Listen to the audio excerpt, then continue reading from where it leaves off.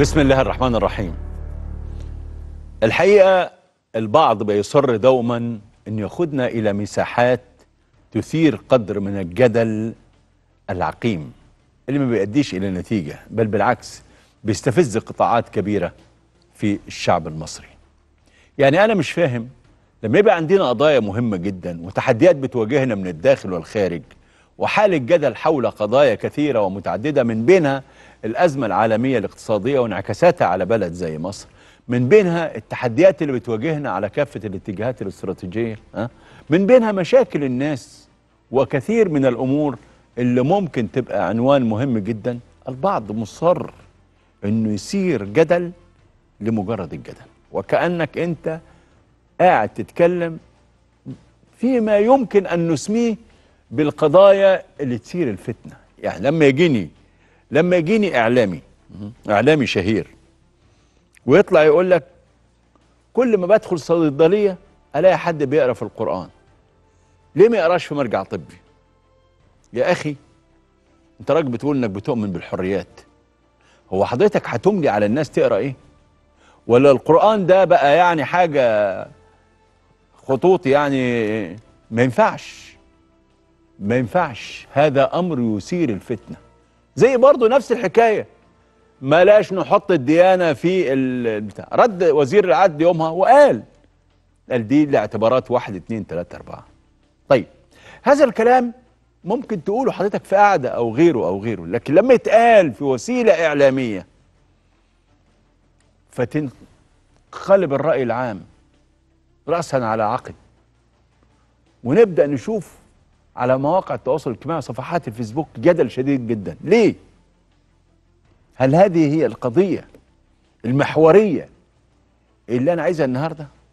ولا ده يعني محاولة كده لإحداث حالة من الجدل الغير مجدي واللي ملهوش أي معنى؟ علينا أن نحترم الناس. أنا قاعد في صيدلية بقرأ قرآن. حياتك مالك؟ أنا قاعد في صيدلية وبقرأ إنجيل. حياتك يخصك إيه؟ هو أنت هتوريني شغلي؟ مرجع طبي ومش مرجع طبي؟ أنت كمان بدل ما تقول له يعني إذا كان راجل بيقوم بشغله وقاعد ما عندوش حد داخل وجايب المصحف وبيقرأ فيه. دي مسألة الحقيقة يعني يعني تثير الاستفزاز الحقيقي للناس. أنتوا عايزين إيه؟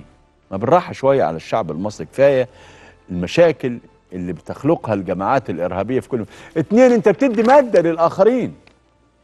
انت بتدي مادة للآخرين اهو الحقوا. بيحصل كذا وبيحصل كذا.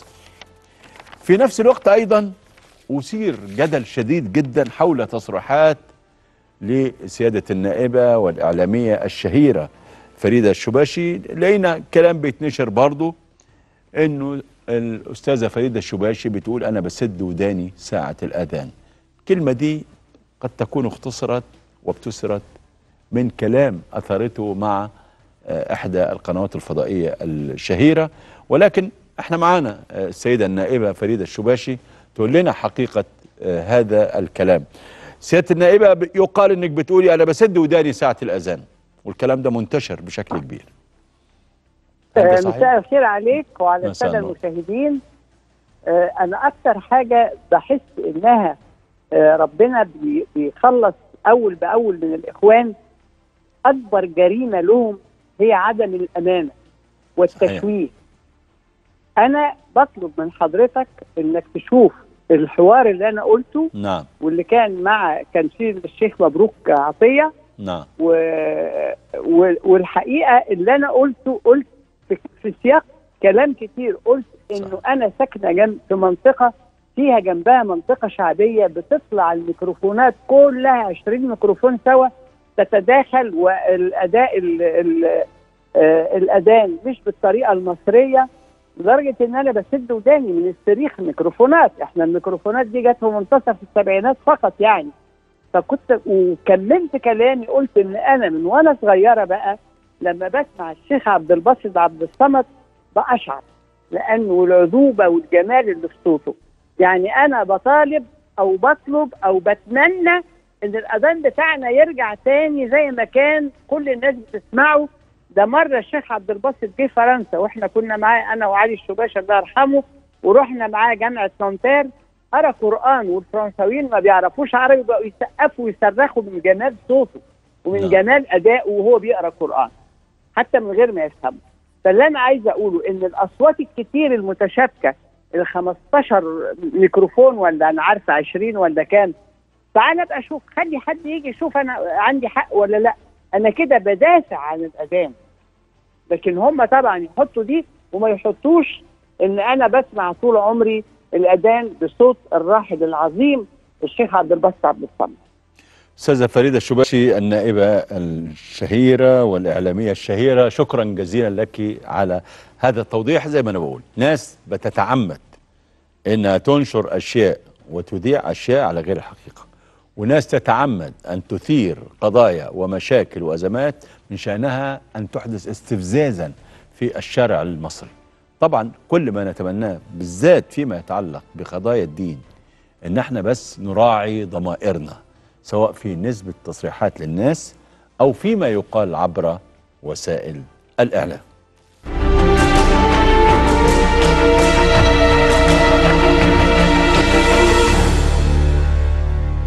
العالم بيعاني من كساد كبير والكساد ده متوقع إنه يضرب اقتصاديات دول العالم في الفترة المقبلة طبعا الانعكاسات ده بعد ما زادت تكلفة النقل بنسبة 500% م? متوقع إن ده يعمل زيادة في الأسعار وهيعمل طبعا زيادة أيضا في ارتفاع أسعار الطاقة إحنا عارفين إن ده سببه الأساسي كورونا وتداعياتها في الفترة الماضية وشفنا حجم التضخم اللي هيخرج عن السيطرة. أسعار الغاز الطبيعي زي ما أنتم عارفين في أوروبا سجلت ارتفاعات بنسبة تصل إلى 316% أسعار السلع زادت بنسبة 15 آه، إلى 30% في بعض الدول. ومن المتوقع ارتفاع نسب التضخم لمستويات قياسية قد تصل بالعالم إلى ما يسمى بالركود التضخمي وده الخطر الأكبر اللي بيهدد اقتصاديات العالم.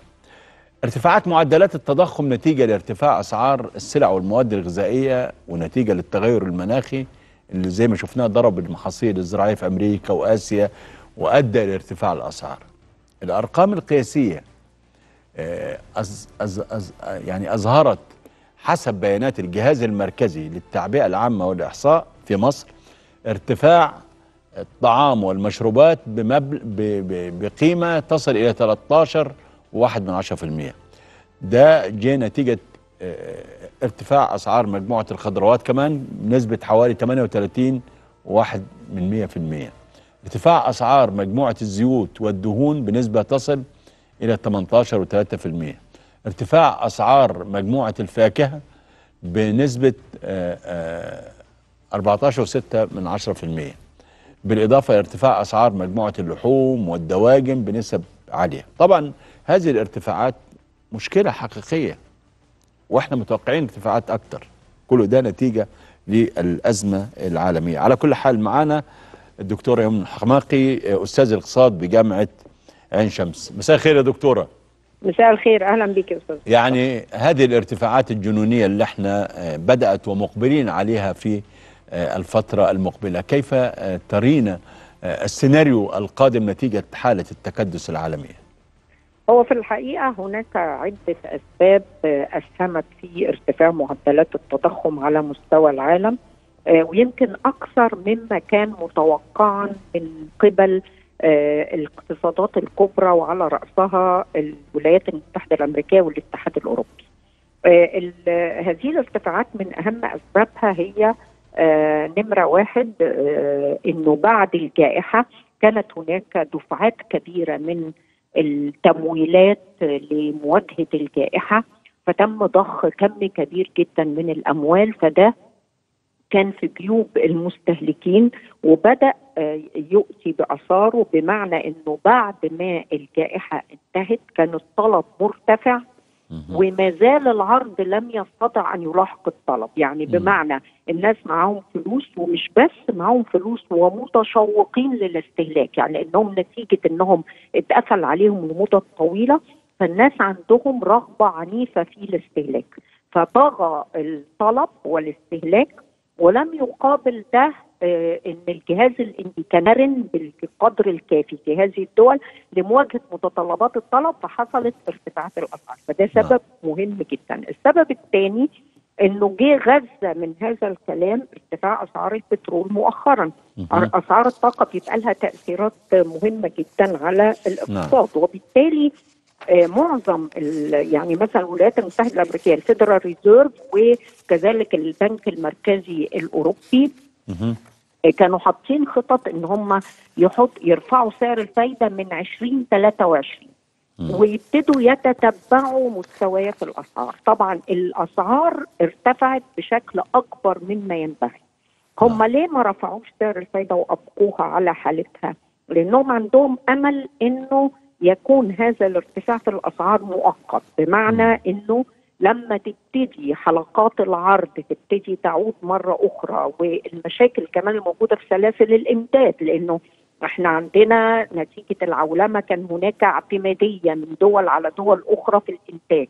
على رأس هذه ال- المواد اللي عملت تأثير كبير في السوق العالمية هي المايكرو شيبس أو الرقائق الإلكترونية اللي هي بتدخل في كل الصناعات الإلكترونية وصناعة السيارات. صحيح. فهي كان بيتم إنتاجها احتكاريا بواسطه مجموعة من الشركات في تايوان وفي كوريا الجنوبية.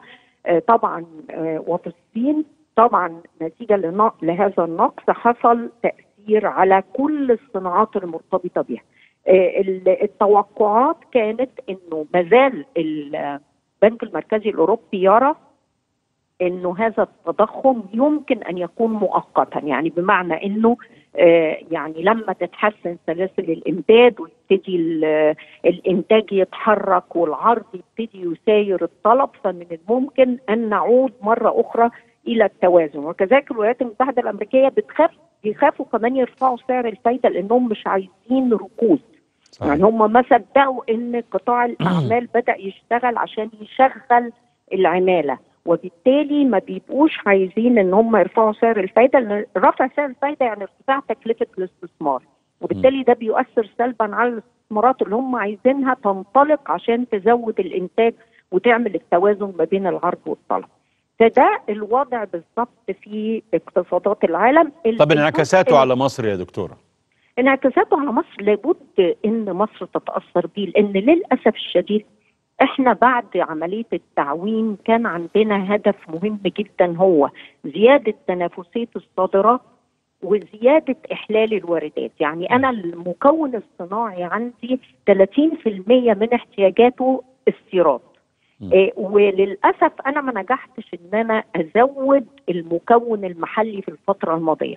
لكن أنا عملت جهد كبير في عملية التصدير النهارده آه، التصدير بيشهد نمو آه، يعني جيد نقدر نقول عليه نمو مم. جيد آخر أرقام طلعت كانت إن صادراتي زادت من 29 مليار دولار إلى 34 مليار دولار. في ما بين السنتين اللي فاتوا اللي هم 2019 2020 و2020 2021 مهم. ده نمو جيد جدا ولكن إمكانيات مصر أكبر بكتير من هذا النمو اللي أنا لازم أعمله في هذه المرحلة هو ضرورة الاهتمام بزيادة المكون المحلي من خلال الصناعات الصغيرة ضرورة الاهتمام بضبط الأسواق وإحنا عندنا آليات كثيرة لضبط الأسواق على رأسها مكافحة الاحتكار لأن إحنا عندنا احتكارات ولابد أن نعترف بكده لابد من مواجهة هذه الاحتكارات. ولا يتأتى ده إلا لما يكون عندي قواعد بيانات بتكاليف الإنتاج اللي هي بنسميها بلغة الاقتصاد ال production index أنا لازم أعرف كل سلعة مكونات التكلفة بتاعتها إيه عشان لما أتعامل مع المحتكر يبقى عندي البيان اللي أقدر أتعامل بيه بكفاءة. وبالتالي ده مهم جدا في هذه المرحلة. طبعا الجهود اللي بيقوم بيها جهاز الخدمة الوطنية والشرطة في التوفير ومصرية قطاع الأعمال العام الحقيقة لعب دور مهم جدا معانا سواء أثناء الجائحة في توفير الأدوية والمستلزمات أو أيضا لما بتحصل أزمات بيبتدي ينزل ويبتدي ش... إحنا سمعنا مؤخرا عن شركات تابعة ل... لقطاع الأعمال العام بيتم إنشائها للصناعات الغذائية وبتدخل في الوجبات المدرسية. دي كلها مهمة جدا لكن القطاع غير الرسمي لازم أبتدي أهتم بإن أنا أنزل أشوف مشاكله مشاكله وأحلها له. يعني أنا سعدت جدا توجه رئيس مجلس الوزراء للجلسة اللي عملها بالأمس للاستماع لمشاكل البورصة والمشاكل الناس صحيح. اللي بيتعاملوا مع البورصة والتوجيه بأن كان في ضريبة هتفرض وكانت في صحيح. مشاكل مرتبطة شائعات. بيها وحل صحيح. المشاكل دي في في نفس الجلسة النهارده البورصة بنشهد إن هي إيه. حصل طفرة فيها ده اللي إحنا محتاجينه نحل المشاكل على طول على أرض الواقع نفعل. الطاقات الإنتاجية لأن مصر مليانة فرص وموارد هائلة. والقضية هي إزاي عملية تنظيم استخدامها بكفاءة. شكرا ليكي دكتورة يمنى الحماقي أستاذ الاقتصاد بجامعة عين شمس. ومعنا على الهاتف أيضا الإعلامية الصينية فيحاء آه، وانج آه طيب معنا على السكايبي فيحاء من مساء الخير. فيحاء مساء الخير. هل معنا على الخط؟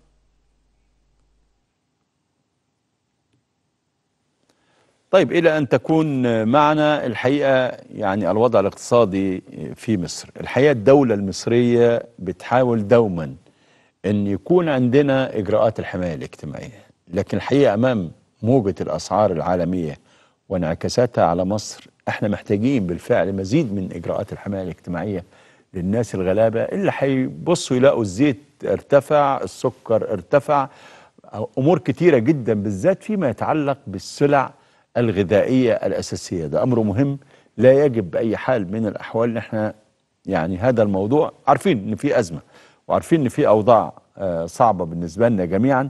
وكل ده انعكاساته على آه، المجتمع المصري أكيد مش هتكون سهلة.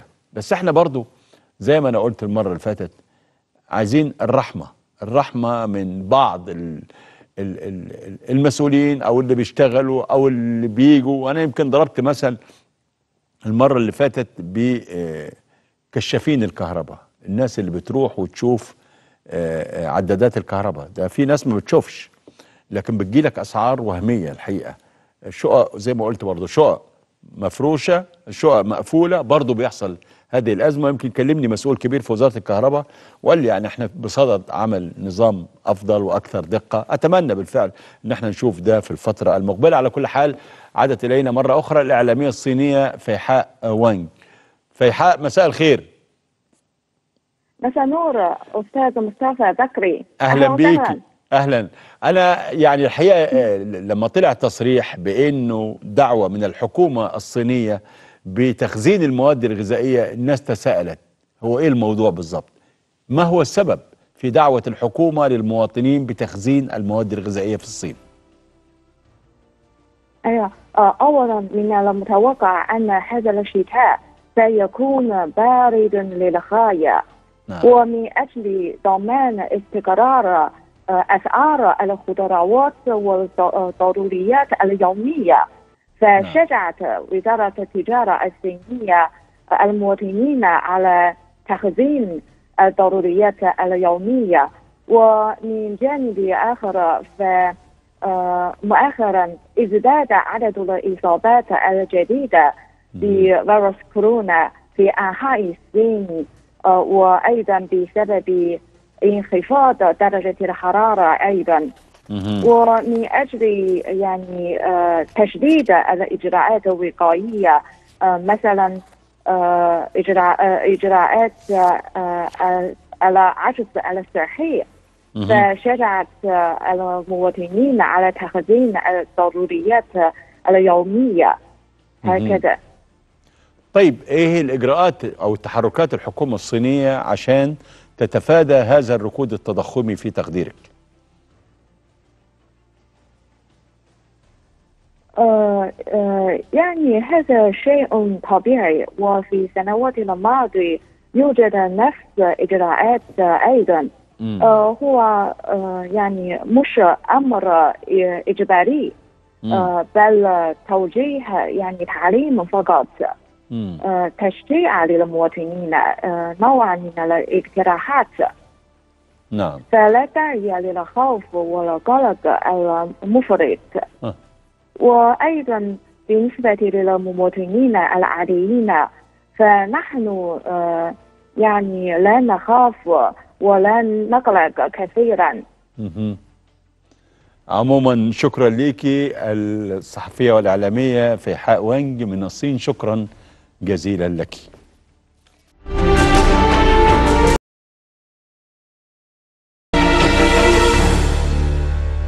منذ أيام آه، وزارة قطاع الأعمال أعلنت عن تراجعها في بيع أراضي شركة الحديد والصلب. الحاجات اللي إحنا حذرنا منها في هذا البرنامج قبل كده كان البيع ده هيتم لصالح هيئة المجتمعات العمرانية الجديدة وكان طرح أظن كان المتر ب 500 جنيه في هذا الوقت. النهارده اتخذ قرار بأنها تطرحها بالمزاد أرض الشركة تطرح بالمزاد.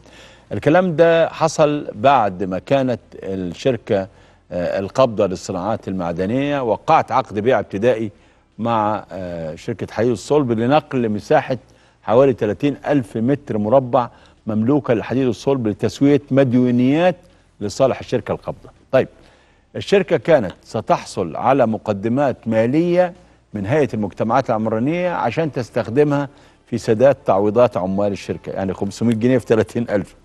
لكن بعد إلغاء البروتوكول اللي وقعته مع وزارة الإسكان اللي وقعته وزارة قطاع الأعمال مع الإسكان آه، الشركة القابضة ستحصل آه، على قرض بنحو واحد وخم... مليار و25 مليون جنيه بعد الحصول على آه، موافقة ال- ال- البرلمان لوزارة المالية بضمان الشركة القابضة طبعا القانون بيلزم الشركة القابضة بالحصول على ضمان من وزارة المالية صحيح عشان تتمكن من الاقتراض من البنوك. وده اللي حصل في قرض الشركة القابضة آه، للغزو والنسيج أنا اللي أنا عايز أقوله هنا إحنا حذرنا في البرنامج ده من بيع أراضي الحديد والصلب بسعر 500 جنيه وقلنا مستحيل ده أراضي قدام التبين على طول على النيل. 500 جنيه إزاي؟ طيب أنت بتقول إن أنا عايز أحل مشكلة العاملين وأديهم التعويضات بتاعتهم. طب هو إحنا ما افتكرناش إلا ده دلوقتي بإن إحنا نبيع. طب ما إحنا حذرنا برضه. وكان اتقال إن في الفلوس الفلوس جاهزة وهتوصل للناس. لم يحدث. ما حصلش. إحنا دلوقتي بندور نشوف ندبر الفلوس إزاي. مع إننا عطلنا المصنع ووقفنا النمو وقلنا العمال اقعدوا في بيتكم. الحقيقة مثل هذا الأسلوب يحطنا أمام علامة استفهام. يعني تطلع لائحة من وزارة قطاع الأعمال تثير ضجة كبيرة جدا عند العاملين والموظفين حوالي 250 ألف في حالة ضجر وزعلانين. وتحدي يجي يوضح لنا الموضوع. قولوا لنا عملتوا كده ليه؟ قولوا لنا بتنزلوا من الناس دي ليه وتجيب آه رئيس مجلس إدارة ب 40000 وتجيب عضو منتدب ب 60000 وتعمل وتجيب كوادر وتديهم مستشارين وغيره وغيره وغيره. يعني الرحمة بالعاملين. بلاش ناخد خطوات إلا إن كنا ناخد قرارات مهمة وصحيحة. إنما بيع بيع بيع. بهذه الطريقة دي مشكلة كبيرة جدا. ده خلينا برضو ننتقل لمشكلة سمات طلخة. وإحنا دي أثرناها قبل كده واتكلمنا فيها وقلنا يا جماعة بتحصل أزمات في السماد وطلخة دي بتبيع سماد مدعم. النهارده مصير مجهول قدام الشركة دي. القصة بدأت في أبريل الماضي. صدر قرار بتطوير الشركة والجمعية العمومية وافقت على استمرار الشركة وتطويرها واتعملت لجنة فنية عشان تنفذ التطوير ده. اللجنه عملت شوية مناقصات عالمية. عدد من الشركات تم وتقدموا. اختاروا منها شركة تقوم بالتطوير ده. حصلت خلافات حول بنود العقد. ماشي. لكن من شهر أغسطس لا حس ولا خبر. الموضوع اتقفل. مفيش لا شركة ولا تطوير اتعمل لحد دلوقتي. هل في خطة تانية رجعتوا لها عشان تبيعوا؟ الشركة زي اللي حصل مع الحي والصلب ولا السيد وزير قطاع الأعمال منفذ من دماغه هذا الموضوع. يا فندم القيادة السياسية رفضت الخطة اللي حضرتك كنت عايز تعملها بإنك تفكك شركة السماد وتنقلها على السويس. النهارده بنعطل. طب ليه؟ ليه بتعطلوا شركة السماد وإحنا في أزمة سماد رهيبة الأيام دي. ليه ما تشتغلش؟ شركة الدلتا. عشان إيه؟ بنحط العراقيل أمام المراكب اللي ممكن تطلع وتمشي وتنقذ البلد. شركة واقفة. من يوم ما اتخذ قرار بأن الشركة ما تتفككش ولا يحصل لها أي نقل ولا غيره ولا غيره والعمال هللوا وفرحوا ورئيس وزراء إدى تعليماته المباشرة بناء على طلب من القيادة السياسية بأن الشركة دي هتبقى. نيجي تاني نقول هنطور. ما يتطورش. شركة تقف. زي اللي بتعمل مع حي الصلب في النهاية نلاقي نفسنا ما قدامناش خيار غير كده. طب ما أنا بعطل الانتاج وبدفع للعاملين وهم قاعدين ما بيعملوش حاجة. شركة ما فيهاش حاجة دلوقتي. أتمنى بالفعل وده نداء للسيد رئيس الحكومة. يا فندم عينك على وزارة قطاع الأعمال. يا فندم اللي بيحصل ده غلط. اللي بيحصل ده مشكلة حقيقية. ما يبقاش حضرتك واخد قرار بإن الشركة تشتغل وما تتفككش ونيجي النهارده نقول التطوير. النهارده من شهر أبريل لغاية دلوقتي ما تشوفوا الرئيس بيشتغل إزاي يا جماعة؟ ما تشوفوا الرئيس بيشتغل ليل نهار؟ أي عقبة بتزال؟ مشروعات بتتعمل كل يوم في مصر؟ أجي في حاجة زي كده تخص العمالة وتخص اقتصاد البلد وتخص قضية الأسمدة. هعطل شركة وإحنا عندنا كام شركة؟ سبع شركات. اللي بناخد منهم 55% سماد مدعم للفلاح. والفلاح محتاج ده. والأزمة العالمية شايفينها وشايفين انعكاساتها. فما نبقاش بقى قاعدين نتفرج على حاجة بالشكل ده. أنا بناشد السيد رئيس الوزراء الملف ده يا فندم يكون قدام سيادتك. واتخذ فيه القرار اللازم والمطلوب. وأتمنى بالفعل ان هذه القضية تحسم وبسرعة شديدة. طيب ناخد فاصل ثم نعود إليكم مرة أخرى لنكمل بقية الفقرات بعد الفاصل.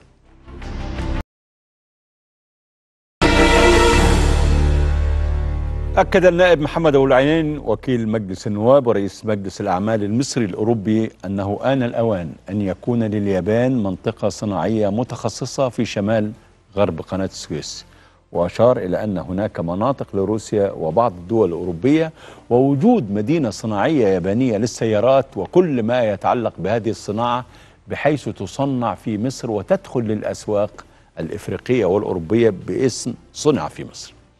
تابع أبو العينين خلال حفل تكريم أقامه المجلس المصري الأوروبي لوداع السفير الياباني بالقاهرة أن مصر لديها اتفاقات تجارة حرة مع 53 دولة في إفريقيا ضمن اتفاق التجارة الحرة بالقارة وكذلك مع الاتحاد الأوروبي وأيضا مع تجمعات وتكتلات اقتصادية حول العالم وهي دول يسكنها أكثر من مليار نسمة.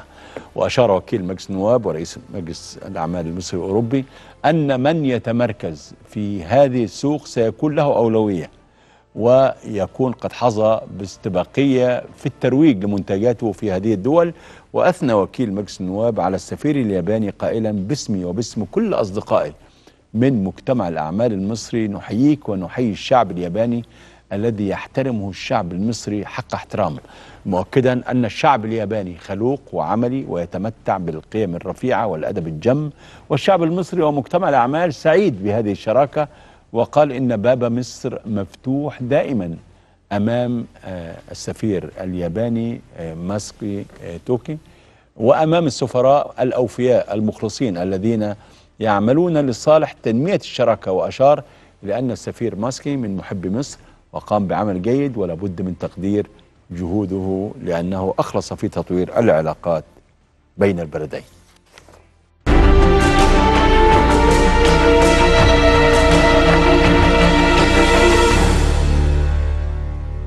الفريق عبد المنعم التراس رئيس الهيئة العربية للتصنيع.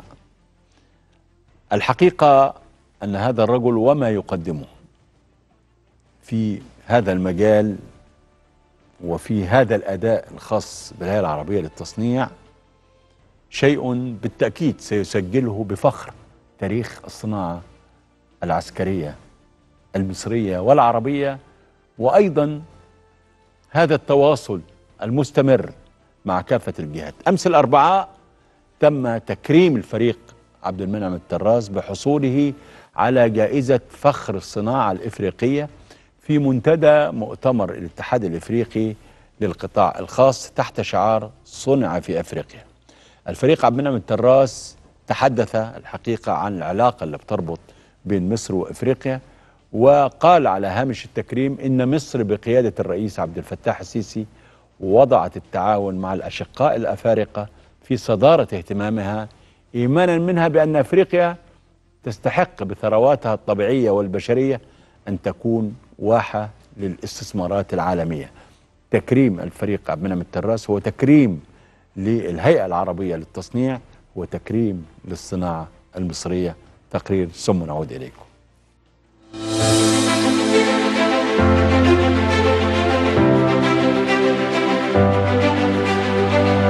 تقديرا لإسهاماته الجليلة وتكليلا لجهوده اللافتة في إحداث طفرة في القطاع الصناعي. منذ توليه رئاسة الهيئة العربية للتصنيع كأحد أهم القلاع الصناعية في مصر والمنطقة كرم الاتحاد الإفريقي للقطاع الخاص الفريق عبد المنعم التراس رئيس الهيئة العربية للتصنيع ومنحه جائزة فخر الصناعة الإفريقية والذي يأتي ضمن فعاليات مؤتمر الاتحاد الإفريقي للقطاع الخاص.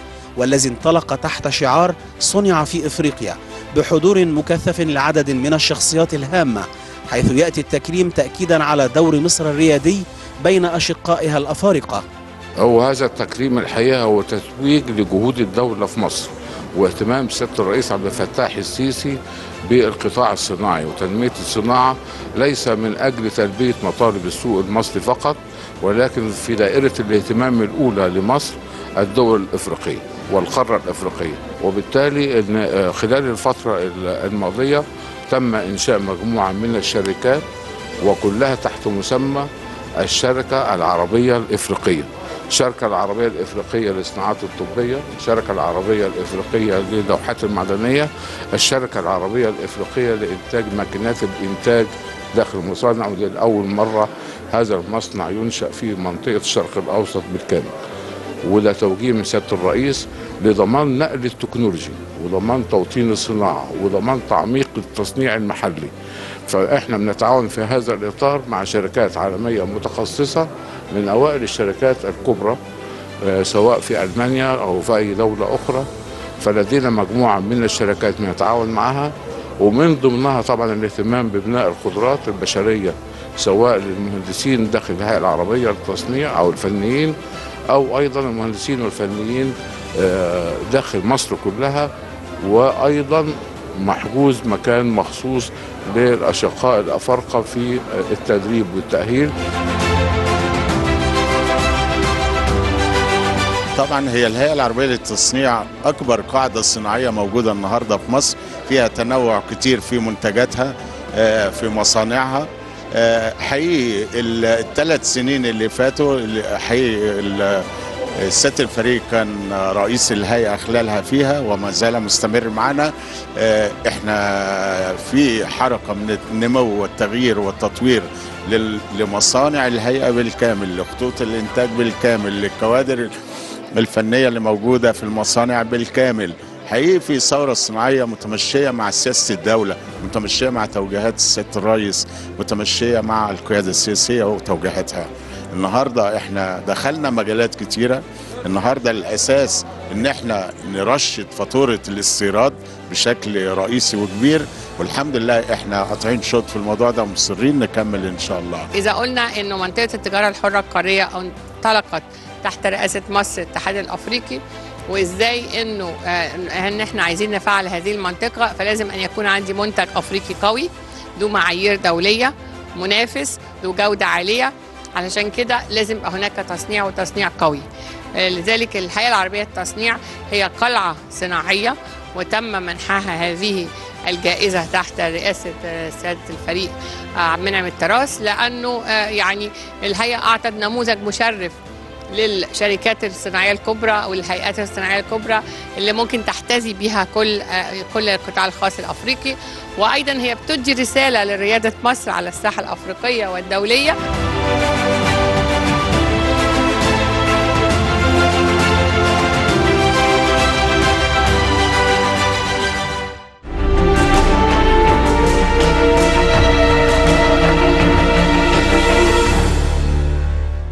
يحتفل حزب الوفد برئاسة المستشار بهاء الدين أبو شقة رئيس الحزب يوم السبت المقبل بذكرى عيد الجهاد الوطني الذي يوافق يوم 13 نوفمبر من كل عام.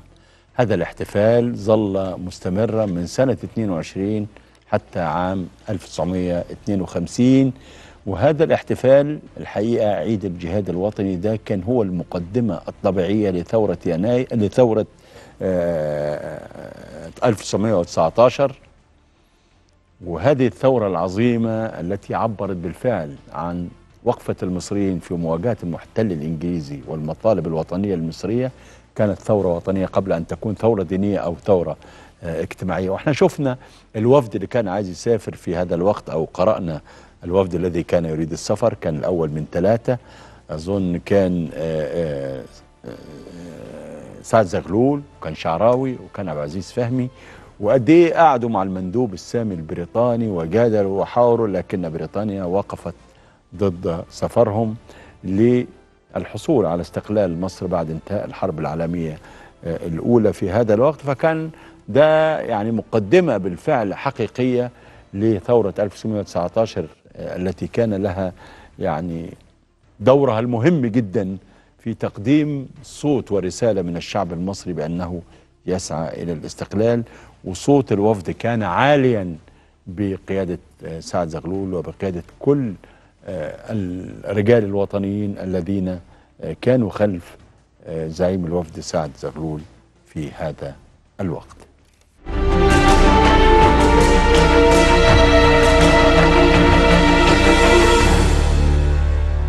جدل كبير حول مشروع قانون المسؤولية الطبية اللي مطروح على آه، لجنة الصحة في مجلس النواب.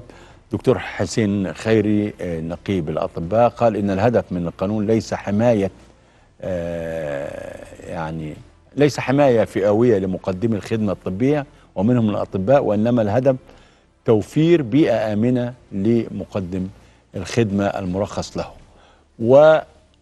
وبالتأكيد هذا القانون نقابة الأطباء بالتأكيد لها آه، رؤية أيضا آه، فيه ومن ثم آه، يعني معنا على الهاتف آه، الدكتورة إيمان سلامة عضو المجلس أو عضو آه، النقابة العامة ال- عضو مجلس النقابة العامة للأطباء. دكتورة إيمان مساء الخير. يعني آه، أنا عايز أسألك آه، عن هذا القانون وإذا كان ليكم ملاحظات فيها كنقابة أطباء. لا إحنا أصلا لينا ثلاث سنين شغالين على مشروع نعم. القانون ده وقدمناه قبل كده السنة اللي فاتت في الفصل التشريعي و...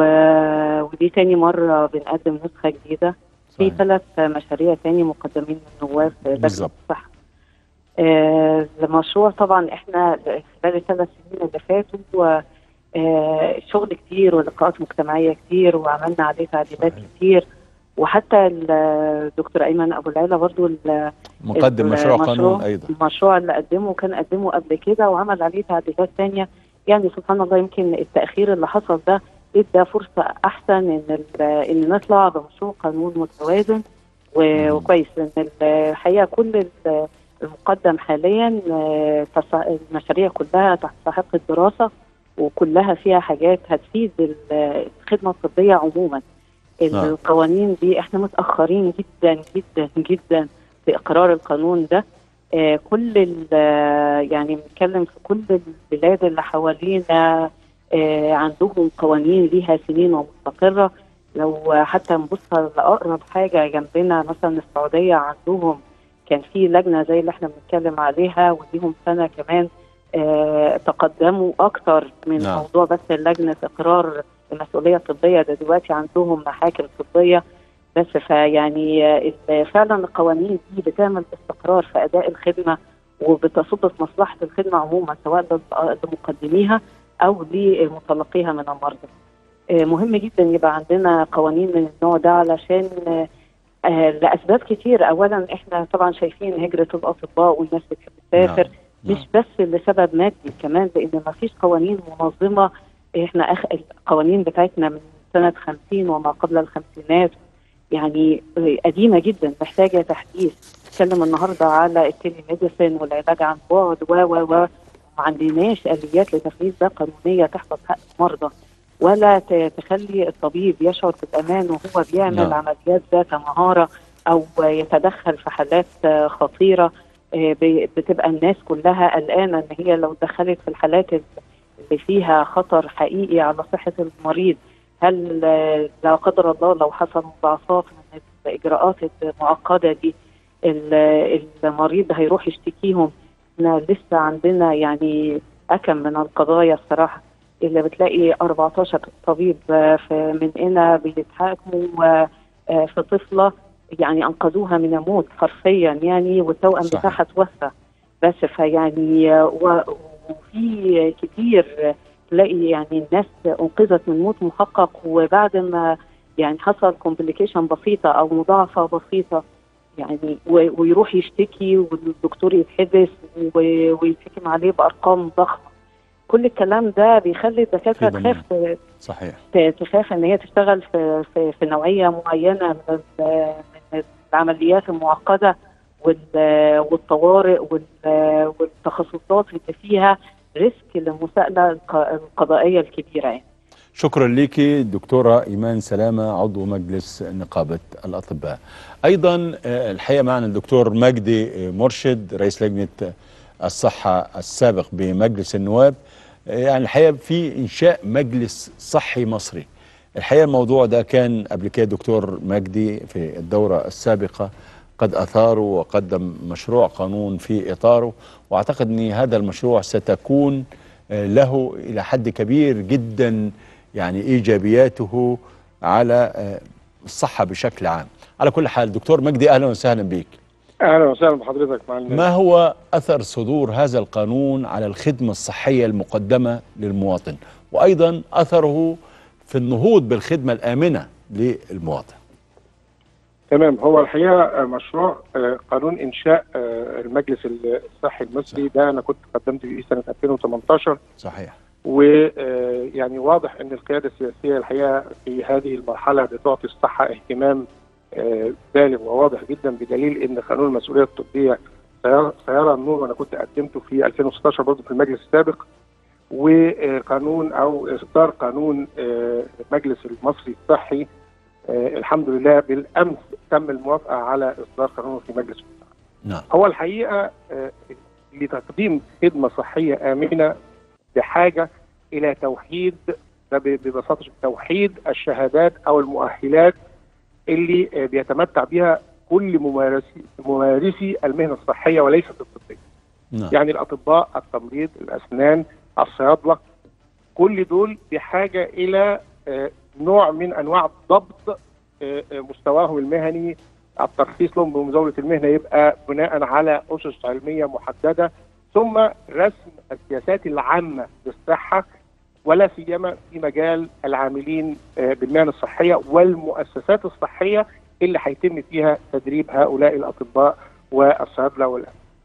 عشان كده في في إنجلترا على سبيل المثال في ال GMC اللي هو المجلس الصحي ال- ال- البريطاني نعم هو اللي بيقيم الأطباء هو اللي بيعلم الأطباء هو اللي بيشرف على تدريب الأطباء هو اللي بيعطي الشهادات للأطباء هو ال- ال- المعتمد الوحيد لشهاده الطبيب اللي يطلع لأن إحنا دلوقتي عندنا جهات كثيرة جدا في مصر يمكن بناء على كده بتلاقي المؤهلات ال- ال- المهنية للأطباء والعاملين في المجالات الصحية مش على نفس المستوى لاختلاف المآرب بتاعتهم أو لاختلاف الأماكن اللي بيتمرنوا فيها. يعني وزارة الصحة بتمرن من خلال الزمالة ودي من سنة 98 نعم. طلع قرار بإنشاء هيئة تدريب إلزامي سنة 2016 القرار كان آه، رقم 210 لسنة 2016 وده برضه بيقوم بنفس دور الزمالة.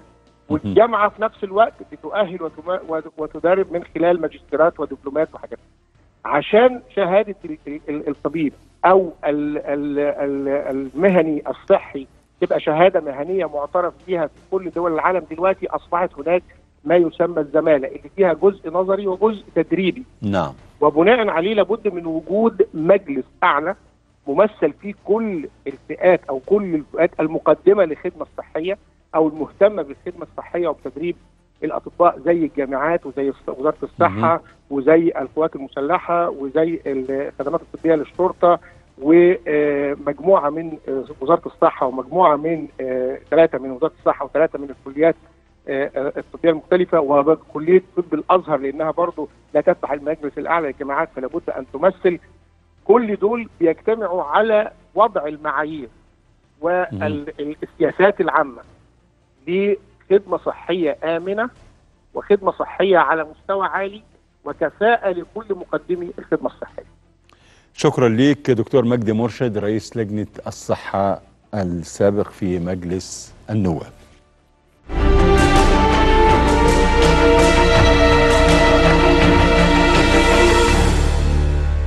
في بداية الأسبوع الجاري قرر الدكتور وزير الأوقاف دكتور محمد مختار جمعة أنه يشيل كل صناديق التبرعات من المساجد وحدد مهلة 10 أيام عشان تتشال.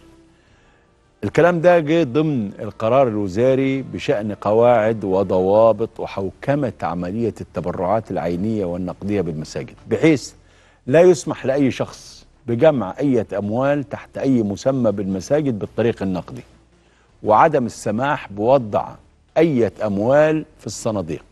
القرار طبعا استثنى صناديق النذور بمساجد النذور المحددة بالقانون وربما يتفهم يتم الاتفاق مستقبلا على مع الطرق الصوفية على هذا الأمر. القرار تسبب في حالة من الجدل الشديد في الشارع المصري. حول دوافع القرار وطريقة التبرع للمساجد مستقبلا. ما هو مصير التجديدات المطلوبة في بعض المساجد؟ هل ستتولى وزارة الأوقاف مصاريف التجديد؟ ما مصير تقديم الأشياء العينية من مراوح وأعمدة إنارة وتكييفات للمساجد؟ إحنا الحقيقة محتاجين من الوزارة توضيح أكثر لهذا القرار. حاولنا الحقيقة اتصال بالسيد الدكتور الوزير يعني يبدو أنه في اجتماع أو حاجة بالشكل ده. إنما دي قضية مهمة جدا. نحاول بالفعل إن إحنا نرد لأن الموضوع ده عامل قلق. ليه؟ أنا عايز أتبرع للمسجد بمروحة. طب هتبرع بيه إزاي؟ في واحد بيروح ويحط القرشينات دول فبيتلموا وبيعملوا كذا. مش كل الناس ممكن تبقى يعني وحشة. لا في حاجات وحشة ما, ما بنستثنيش يعني.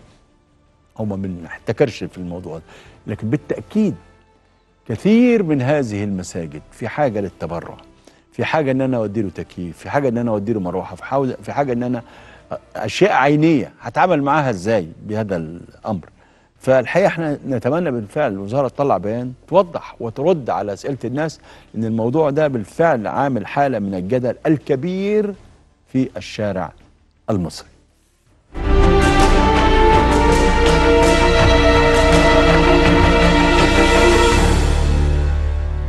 أولادنا تلاميذ الصف الرابع الابتدائي. بعتوا لنا شكاوي كتير متعددة. مضمونها بالمختصر إحنا مش فاهمين حاجة من المنهج بتاعنا. بقالهم أكتر من شهر بيحاولوا يفهموا المناهج وما وصلوش لأي شيء. وده اللي خلى أولياء الأمور كتير يبعتوا لأعضاء مجلس النواب يبعتوا لنا عشان شوفوا لنا حل في صعوبة المناهج. مش بس المنهج صعب ده كمان يعني منهج كبير جدا. ما يستوعبوش التلاميذ في المرحلة دي خاصة مادتي العلوم والرياضيات. عندنا مثلا منهج مادة العلوم لطلاب المرحلة الابتدائية زي ما بيقولوا بتشابه كتير مع منهج الصف الثاني الثانوي. الحقيقة دي قضية عاملة جدل كبير جدا.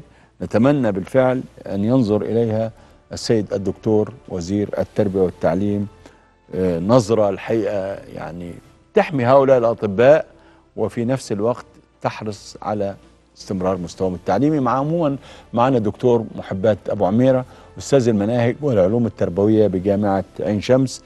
دكتور أظنك سمعتي على هذه المشكلة اللي بيشتكي منها آباء كثيرون بأنه المناهج صعبة المناهج أكبر بكتير جدا من قدره استيعاب طلبة في رابعة ابتدائي. مساء الخير مساء النور دكتورة. آه، أنا سيادة النائب.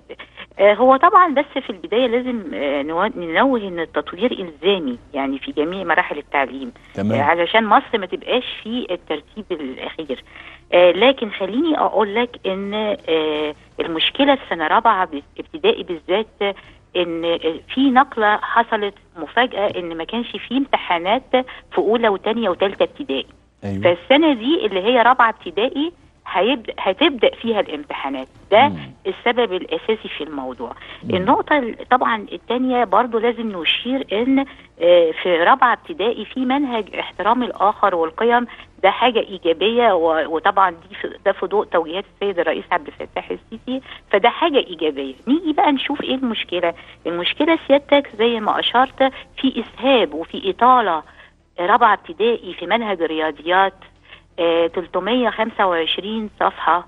آه لا لا كتير قوي قوي في ترم مش مم. في, في سنة في ترم وفي نفس الوقت في بعض الموضوعات آه، فوق المستوى العمري للطالب.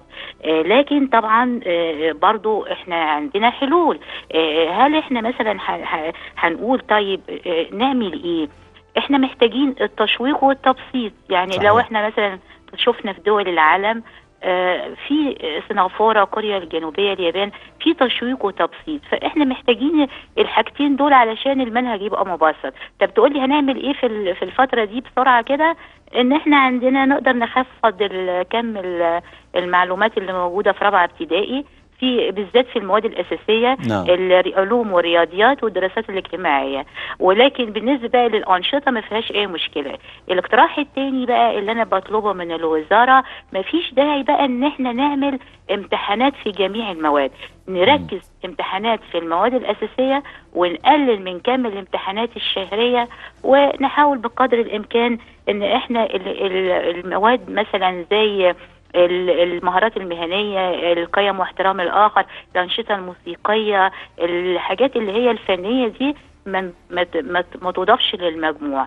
في نفس الوقت أنا شايفة كمان إن هيبقى في تقييم إلكتروني. يعني لو نعم. اللون الأحمر الطالب راسب اللون الأخضر الطالب عنده ملحق اللون الأزرق الطالب ناجح. ده حاجة كويسة بس محتاجين إن المدرس نفسه يتدرب على أساليب التقويم دي لأن ستك فاقد الشيء لا نعم. يعطيه.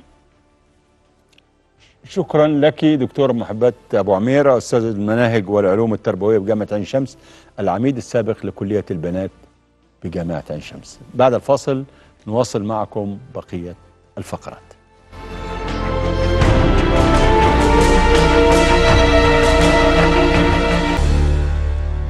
الحل الأمني وحده لا يمكن.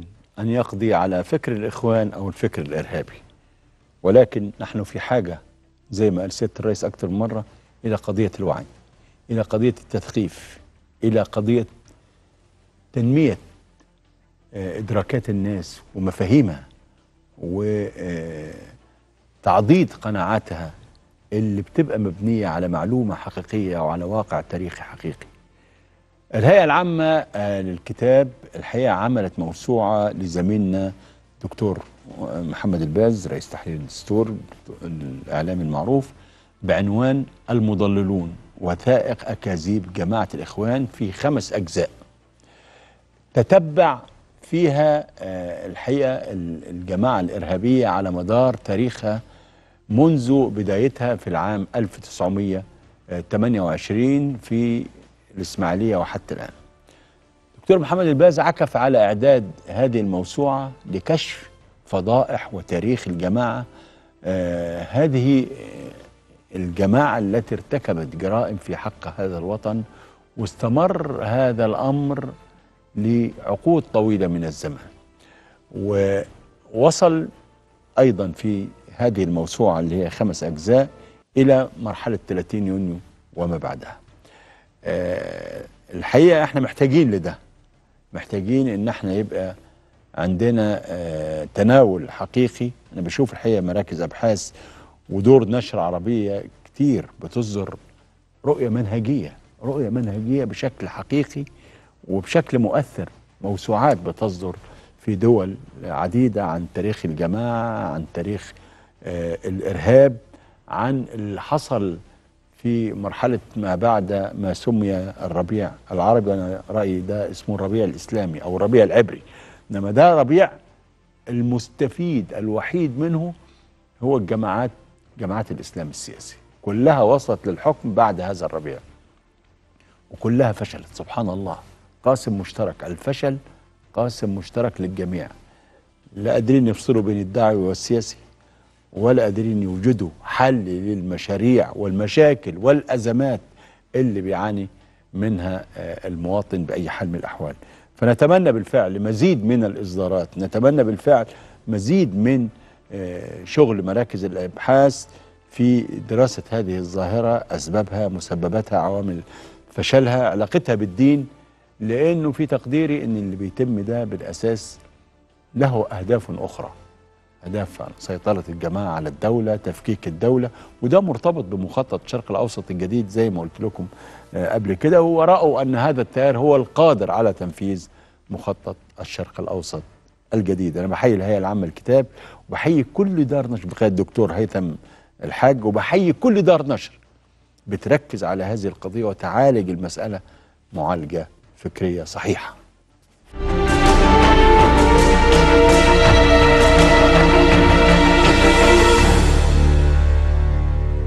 عندنا مشكلة الحقيقة بعتها لنا آه، زميلنا النائب هشام آه، سعيد الجاهل النائب آه، رشيد عن المواطن أو يعاني أطفال المواطن ماهر معوض محمد عبد القادر اللي توفي بتاريخ آه، 30 12 2015 في حادث سيارة بدرنا في ليبيا ودفن بالأراضي الليبية.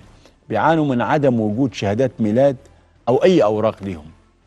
السيد ماهر توفي وترك ثلاث أطفال وللأسف بدون أوراق نظرا لأن المنطقة الشرقية كان فيها مشاكل سياسية وعسكرية منذ عام 2011 الحقيقة إحنا بنعرض الموضوع على السيد وزير الداخلية وإحنا على ثقة بأنه بالتأكيد سيجد حلا لهؤلاء الأطفال المصريين اللي معهمش أي أوراق تثبت هذه الحالة أو هذه المشكلة بأي حال من الأحوال.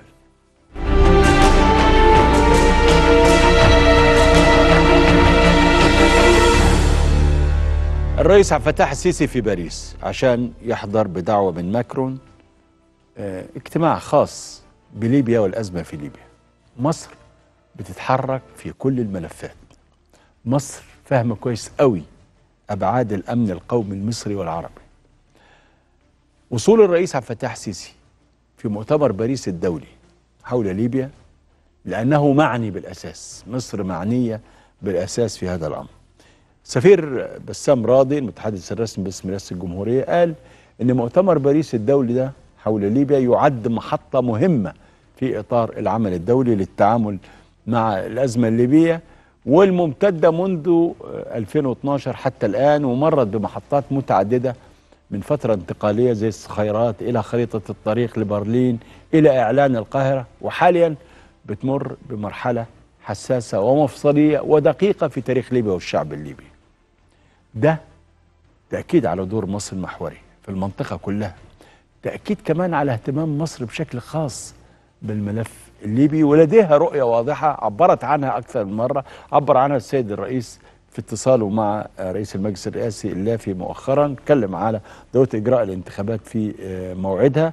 آه، ضرورة خروج آه، القوات الأجنبية والمرتزقة والمقاتلين الأجانب من الأراضي الليبية. الحفاظ على وحدة ليبيا واستقلالها ورفض أي محاولات للتقسيم واستعادة ودعم وتقوية مؤسسات الدولة الليبية وتوحيد المؤسسات الأمنية والاقتصادية في ليبيا. طبعا إحنا شايفين الإخوان بيحاولوا إفساد الانتخابات بكل الطرق. شفتوا الجدع خالد المشري اللي هو رئيس بيسمي نفسه رئيس المجلس الأعلى للدولة. دعا بكل صراحة إلى إفشال هذه الانتخابات. وحصار مفوضية الانتخابات لمنعها من أداء مهامها شوف شوف الإرهاب. وبعد ما خلص البقين دول واشتغل ع- تحريض وجاب ال- الأسرى اللي عنده اللي في المجلس الأعلى وقال لهم امضوا على هذا البيان سافر عند تركيا. وقابل الرئيس أردوغان وقابل وزير خارجية تركيا. طيب خالد المشي ذهب لتركيا عشان ينسف الانتخابات والمسار السياسي كله. وقال علنا إنه بيرفض خروج القوات الأجنبية المرتزقه من ليبيا. وإن الاتفاقيات اللي وقعتها حكومة الوفاق مع تركيا هي قانونية وشرعية. في نفس الوقت أيضا ميليشيات الإخوانية زي ما بقول لكم بدأوا يصدروا بيانات ويهددوا فيها رئيس المفوضية الوطنية العليا للانتخابات وأعضاء من مجلس النواب بسبب إصدار البرلمان لقانون الانتخابات. آه، خالد المشري وتنظيم الإخوان بيديروا عملية متكاملة لإفساد هذه الانتخابات ونسفها من الأساس الهدف استمرار حالة الفوضى. استمرار سيطرة الميليشيات المرتزقة. الإخوان عارفين كويس قوي إن إجراء الانتخابات معناها سقوطهم زي ما حصل في بلدان أخرى. وعلى فكرة هم في أول مرة أظن كان جابوا 18 مقعد في تاني مقعد مرة في انتخابات تاني مرة اللي هي كانت أظن في 2014 م? آه جابوا كلهم على بعض 30 مقعد. فلا وجود حقيقي لهم. الشعب الليبي شعب واعي وفاهم. آه، الشعب الليبي مستمر في هذه العملية العملية الانتخابية وتتم في موعدها. الشعب الليبي عايز يخلص من الميليشيات عايز يخلص من المرتزقة عايز حكم قوي يبقى واقف على أرض صلبة في ليبيا. الانتخابات الليبية هتتم. خريطة المرشحين للانتخابات الليبية بتتغير كل يوم. مشير خليفة حفتر ما زال على رأس المرشحين ونال يعني عمل استمارات اللي هي الترشيح. جمع حوالي 200 ألف تفويض شعبي لخوض الانتخابات.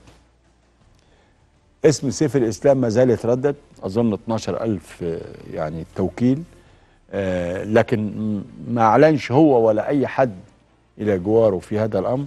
آه، مسؤول كبير في حكومة الوحدة الوطنية الليبية كشف أن رئيس الوزراء عبد الحميد دبيبة بيعتزم أيضا الترشح للرئاسة.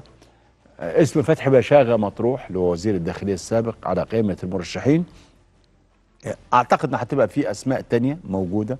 ممكن تبقاش في عارف النايت ناوي ينزل. آه، الشرع قيل صالح لم يحدد أو ما فيش حد جاب آه، سيرة إنه آه، هيترشح في الانتخابات الرئاسية.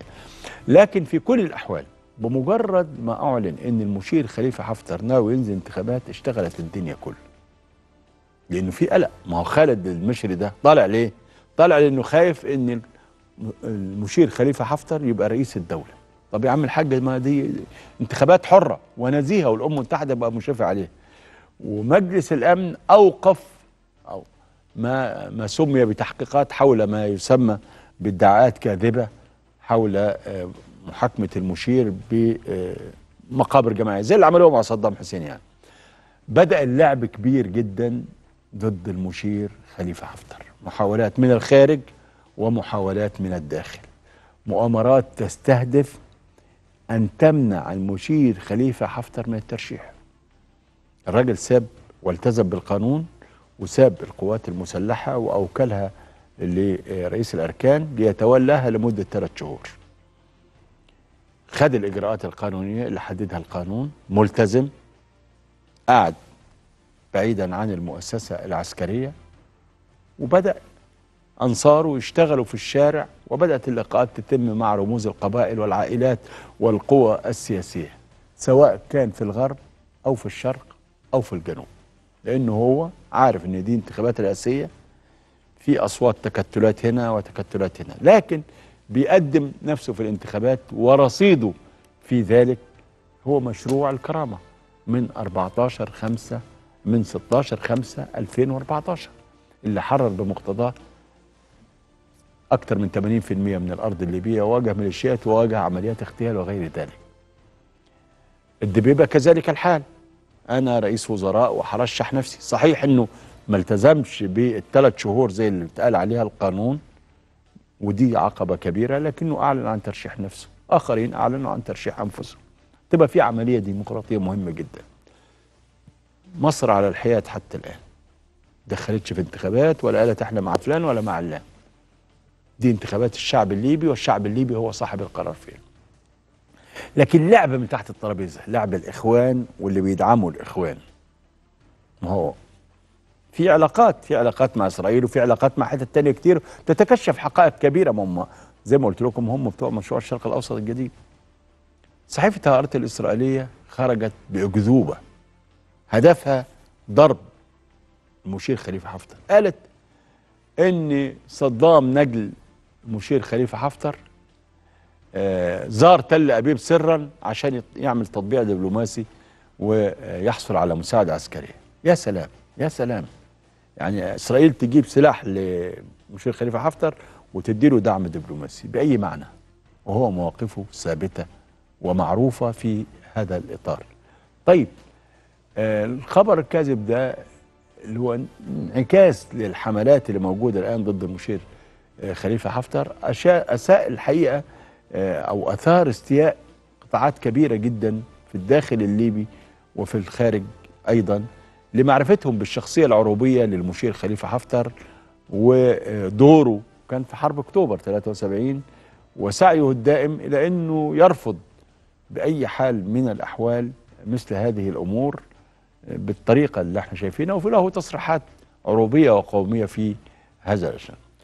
ولأن الخبر ده لا أصل له إلا في عقول الكذابين جاء النفي للزيارة من رئيس رابطة يهود ليبيا اللي هو أصلا معروف بعدائه للمشير خليفة حفتر كتب على صفحته على الفيسبوك نفى كل ما تم إشاعته من ماكينة الإعلام الإخوانية وأكد أن دي حرب إعلامية الكلام ده قالوا قال أنه اتصل بوزارة الخارجية آه، اللي بيها كنت أتمنى نشوفوه يعني أتمنى يعني يبان أفضل كده إنه اتصل بوزارة الخارجية الإسرائيلية وسألهم على هذا الأمر ونفت وزارة الخارجية نفيا آه، قطعيا أن يحدث ذلك. كون بقى ناس بتوصل هنا معلومة ولا بتاع معلومة ياخدوها سنادا إلى صحيفة إسرائيلية لكن الحقيقة إنه لا أحد يستطيع أن يقدم على هذا الأمر بهذا الشكل وبهذه الطريقة طب ما يطلع يقابل مندوب في أي عاصمة ويروح ياخد طيارة وينزل وهو عارف إن إسرائيل أصلا ما فيش حاجة بتستخبى فيها لكنها الحرب القذرة التي تريد من الآن أن تستخدم كل الأساليب غير المشروعة والادعاءات الكاذبة في مواجهة المشير خليفة حفتر.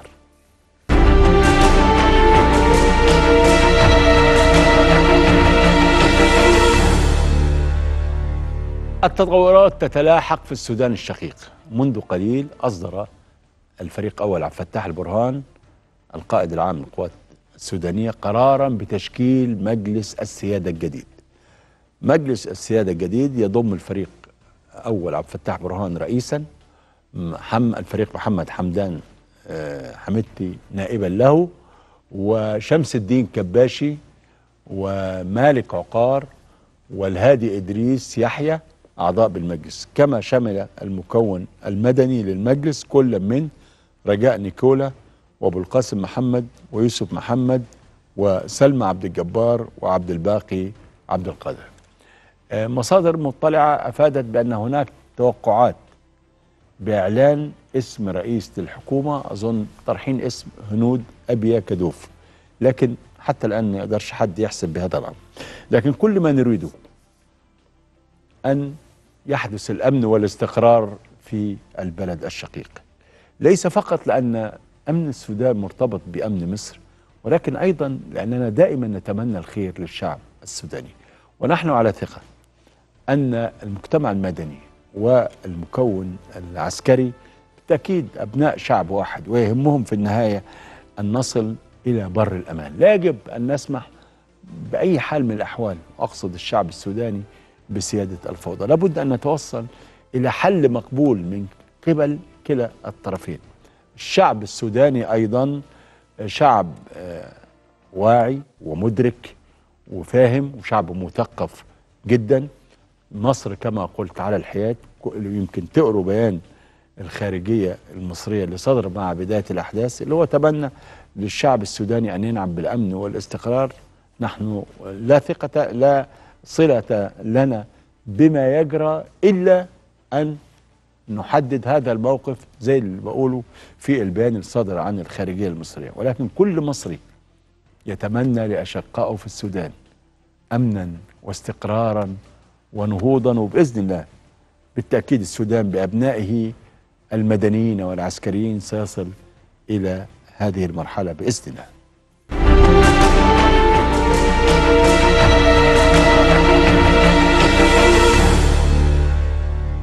تطورات مهمة في سوريا.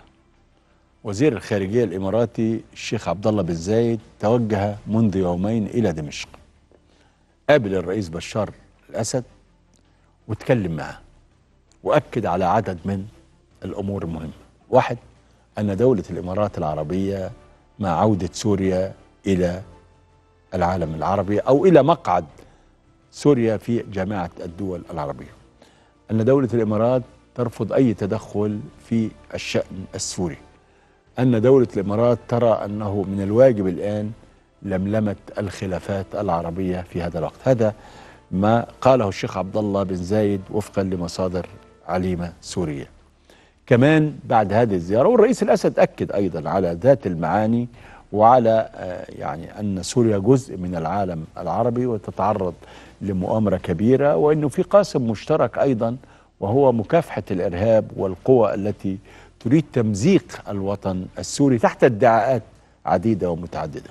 كمان النهارده وقعت وزارة الكهرباء السورية مع تجمع لشركات إماراتية على عقد لإنشاء محطة كهروضوئية بقدرة 300 ميجا وات المنطقة دي هتتعمل في ريف دمشق.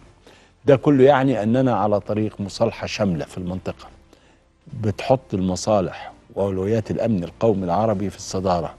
وأعتقد أن المقعد السوري في الجامعة العربية وفي القمم واجتماعات وزارة الخارجية لن يكون خاليا هذه المرة في القمة القادمة. أتمنى أن ده يحصل بأي حال من الأحوال لأن سوريا بلد عربي.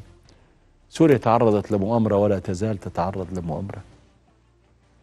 سوريا بلد يمد يده لأشقائه العرب جميعا.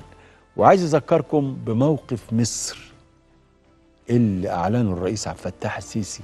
يمكن مش حتى لما بقى رئيس يمكن هو وزير دفاع. كان دايما بيأكد إن سوريا بلد عربي وكان بيأكد على وحدة الشعب السوري على عدم التدخل في الشأن السوري بأي حال من الأحوال. ده كان موقف ثابت. وأذكر أيضا بما قالوا أمام مجلس الأمن في 2016 كان كلام واضح ومحدد. إحنا مع الأمن السوري مع الاستقرار على أرض سوريا. دي مواقف ثابتة ومبدئية. وأظن أن عملته دولة الإمارات العربية المتحدة أيضا هو رسالة للجميع بأنه حان الوقت أن نطوي الخلافات مع هذا البلد العربي الشقيق. كل ما نتمناه بالفعل أن القمة القادمة تكون سوريا دولة فيها. أن الأمن القومي العربي يكون هو العنوان لكل العرب. أتمنى بالفعل أن إحنا نبحث في كل مشاكلنا. نشوف اللي بيحصل على أرض اليمن اللي بيدمي القلوب اللي مسبب لنا جرح غائر وإحنا بنشوف اليمن وبنشوف أطفال اليمن ونشوف الأزمات اللي موجودة في اليمن. اليمن بلد غالي علينا إحنا كأمة عربية. لما بنقعد مع أخواننا اليمنيين في القاهرة ونشوفهم في أي احتفالات أو أي أفراح أو أي حاجة يشكو اليمنيون من الحالة التي وصل إليها بلدهم. يطالبون بضرورة إنهاء هذا الأزمة هذه الأزمة. وإحنا عندنا مخرجات الحوار وعندنا قرارات مجلس الأمن. وعندنا الحقيقة دايما مصر إلى جانب أشقائها الخليجيين. مطلوب بالفعل في الفترة القادمة أن إحنا نكثف جهودنا لنطوي هذا الملف وننهيه إلى غير رجعة. أما إذا استمر الحال بهذا الشكل إحنا كل يوم بنشوف آلاف الضحايا أطفال يموتون نساء وغير ذلك من الأمر. بقينا نشوف منظر الدماء ليل نهار. كمان اليمني في بلدان عديدة برضه بيعاني بيعاني من مشاكل وبيعاني من أزمات وبيعاني من كوارث حقيقية. اليمن لا يستحق هذه. هذه الكارثة التي تحيط به من كل اتجاه. اليمن يصرخ في العرب وفي العالم حلوا الأزمة اليمنية. شوفوا حل. شوفوا طريقة لإنقاذ شعب اليمن من الفناء والدمار. شوفوا طريقة لإنقاذ أطفال اليمن اللي بقى لا بقى في مدارس ولا بقى في صحة ولا بقى في علاج ولا بقى في غذاء. كمان خلونا في عالمنا العربي. صدر حنين لليمنيين. اليمنيين طول عمرهم يقدموا الكثير للأمة العربية. الإنسان اليمني إنسان منتمي بطبعه. ذو حضارة ذو تاريخ ذو انتماء قومي عربي أصيل. لو كنت أمشي في شوارع اليمن. ومناطق عديدة في صنعاء القديمة وصنعاء الجديدة. شوف صور عبد الناصر وصور القادة التاريخيين. في كل مكان يكلمك على مصر. الآن تسمع اليمنيين. يعني أنا قاعد فترة كده من مجموعة قاعدين مجموعة من اليمنيين. وتكلم السفير اليمني محمد مريان على دور مصر في زمن السيسي في حماية الأمن القومي العربي. كلام محترم. إحساس بكل جوارحهم ومشاعرهم بدور مصر ودور الرئيس السيسي. كل اللي قاعدين كان نفس الكلام أن مصر انتقلت نقلة حضارية أن مصر طول ما هي سند قوي أزمة اليمن هتتحل وأن استقرار مصر اللي حققه الرئيس السيسي وحققه جيش مصر وحققته شرطة مصر هذا الأمر بالفعل يمكن أن يكون دافعا لحل مشكلة اليمن وكل المشاكل الأخرى. دي موجودة في قناعات اليمنيين. اليمني إنسان يعرف الجميل ويعرف يرد الجميل ومصر بالنسبة لهم كبيرة وقوية وفاعلة وعمرها عمرها ما ليها أهداف ذاتية أهدافها متعلقة بالأمن القومي. إحنا إيه هدفنا في ليبيا؟ غير حماية ليبيا والأمن القومي لليبيا اللي هو مرتبط بالأمن القومي العربي.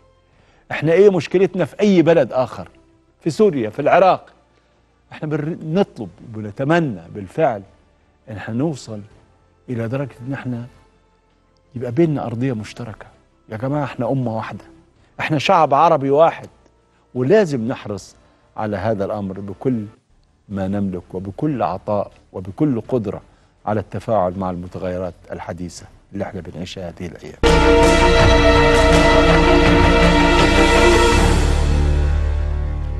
لا يمكن الحديث عن القوم عن الأمن القومي العربي دون الحديث عن فلسطين. فلسطين قضية العرب المركزية، القضية اللي إحنا تربينا عليها. محور النضال العربي على مر سنين طويلة. فلسطين لا تنسى. تضحيات شهدائها، شعبها، زعمائها لا يمكن أن تنسى. اليوم بتمر الذكرى السابعة عشرة لرحيل القائد والمقاتل والمناضل التاريخي الشهيد ياسر عرفات. هذا الرجل الذي قدم عمره كله للقضية الفلسطينية أكثر من 40 سنة خاض المعركة تلو المعركة قاتل حتى الرمق الأخير ورحل شهيدا كما كان يريد وكما كان يردد دائما. ياسر عرفات هو صفحة النضال الفلسطيني الناصعة. هو وجه المقاومة الحقيقية من أجل الوطن. تمر السنوات. ويبقى أبو عمار في عقل ووجدان وقلب كل فلسطيني بل كل عربي مخلص. لقد عرفت أبو عمار عن قرب. كنت ألتقيه بالساعات في مصر وفي تونس وفي الأردن وفي لبنان. ربطتني به علاقة استمرت سنوات طوال. ربما منذ عملت في الصحافة في عام 79 كنت أدرك تماما أن أبو عمار شخصية استثنائية. رجل التف حوله الجميع. كانت وجهته وقبلته هي فلسطين. من أجل فلسطين عاش ومن أجل فلسطين رحل. سمموه تآمروا عليه. كان شارون يعد لخطة الإبعاد أو القتل. ولكن عندما سافر باريس وعاد ورحل قيل أن أنه استشهد بالسم. وظلت التقارير تخرج لتؤكد أن أبو عمار قد جرى تسميمه ورحل شهيدا بعيدا. لكن الحقيقة النضال الفلسطيني لا يتوقف مستمر بقيادة رجل لا يقل وطنية. ولا يقل انتماء ولا يقل نضال وكفاح الرئيس محمود عباس أبو مازن. هذا الرجل الذي يتعرض لحملات عديدة ومتعددة. هذا الرجل الذي وصفه ليبرمان بأنه إرهابي دبلوماسي. هذا الرجل الذي تحدى أوباما وصمم على أن يذهب للأمم المتحدة حتى تكون فلسطين دولة مراقب وصمم على أن يضم فلسطين إلى المنظمات الدولية. هذا الرجل الذي رفض وقاتل في مواجهة صفقة القرن. وكان الموقف الفلسطيني موقفا قويا. منعوا عنه المال. كانت غوث اللاجئين. وغيره وغيره وغيره. أغلقوا مكتب منظمة التحرير في واشنطن. إجراءات تعسفية. إرهاب كان يمارس ضده. لكنه ظل صامدا. وعندما طلبوا أن يلتقوا بوفد فلسطيني قال أبو مازن لن نلتقي. أي مسؤول في الإدارة الأمريكية الحالية؟ إدارة ترامب التي وقفت بكل قوة وعنف في مواجهة حقوق الشعب الفلسطيني ومنها الحقوق المالية والحقوق السياسية وحقوقه التي جسدتها قرارات مجلس الأمن. وإصرار ترامب على أن ينقل السفارة الأمريكية إلى القدس. ستبقى فلسطين طالما بقي الرجال وستبقى فلسطين طالما أن هناك عزيمة وإصرار. نحن نربي أبناءنا على فلسطين على أرض فلسطين كل فلسطين.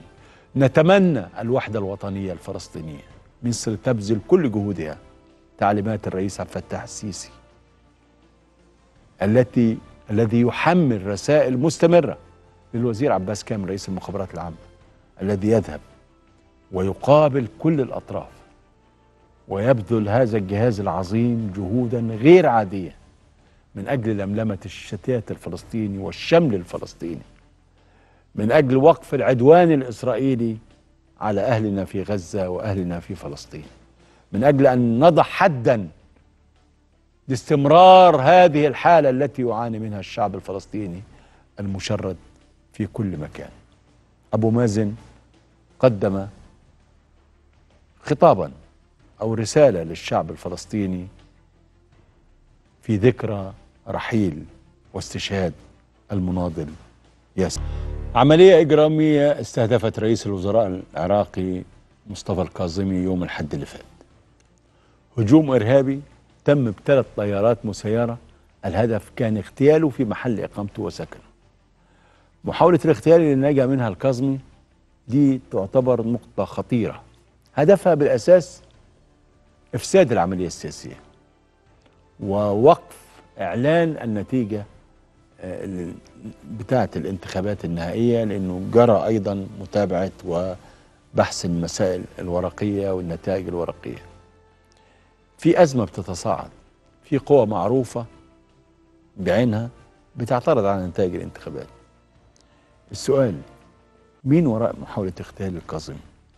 طبعا ده معروف ويمكن الكاظمي أشار بأنه عارف الحكاية دي.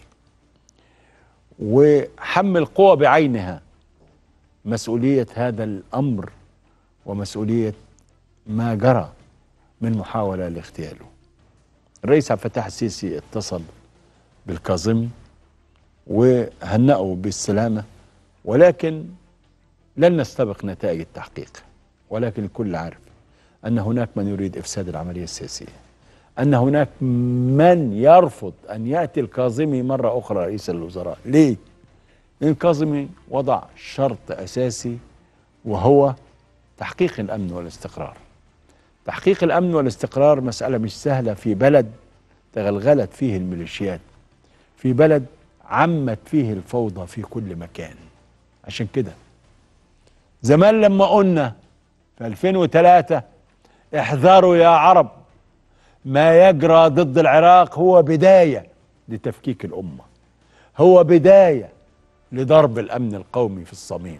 فاكرين بوش لما كان بيقول العراق نموذج للديمقراطية في الشرق الأوسط. فين يا عم الحاج؟ فين نموذج أيها الرجل القاتل؟